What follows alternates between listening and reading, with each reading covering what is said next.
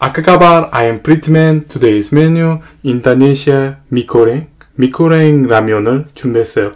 아 요즘에 요즘에 인도네시아 밴드들이 많아져서 인도네시아 밴드를 위해서 어, 인도네시아 라면을 준비했습니다.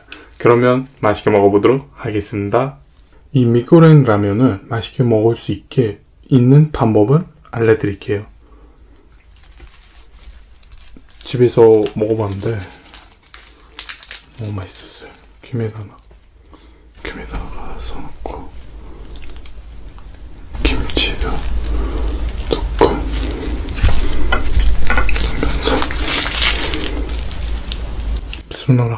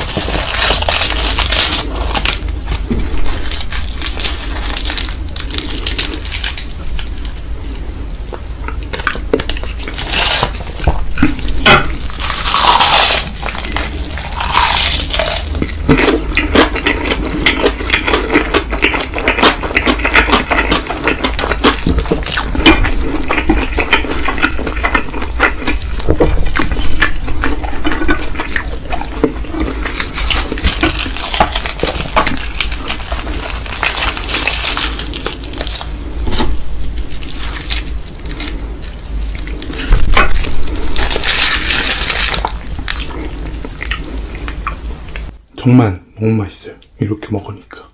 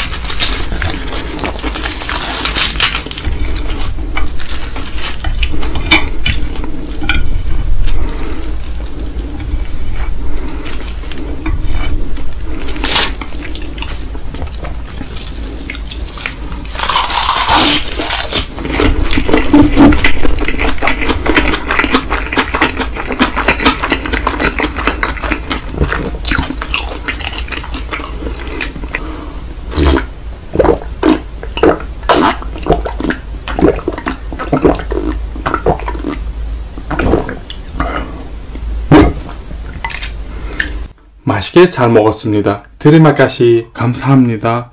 인도네시아 말로요. 어, 김이랑 삶아서 먹으니까 정말 맛있어요. 김치는 꼭 있어야 되고. 오늘도 행복하세요. 안녕.